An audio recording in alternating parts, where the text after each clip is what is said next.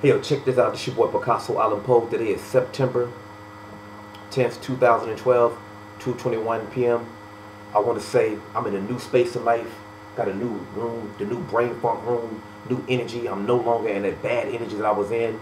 And um, and uh, I want to thank you to everybody who held me down, man, through, through the process or whatever. And I, you know, it was a rough patch and stuff, but I've made it and, and I and I and I, I overcame and I, and I overcame the obstacles or whatever. And I'm still overcoming them. And I'm thankful to Gylo, Gylo Mama, Tahiti, Marcellus, the, the whole Ty, the whole Trap House crew, Fats, you know, there's everybody that's been truly down. Uh, Stormy, uh, Shauna, Gylo, Gylo's sister Shemaine, just the people that been down where they really have to. Uh, the fans, Kimberly, you know, just Mona. Oh my God, Mona Tahiti. You know, just so many people that's been down, and I appreciate you.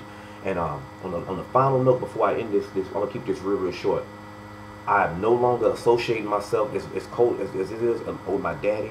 I have nothing. I want. Uh, I want nothing to do with him. I'm about to dis distance myself from him, and um, I want. I'm, I'm, I want no parts of that.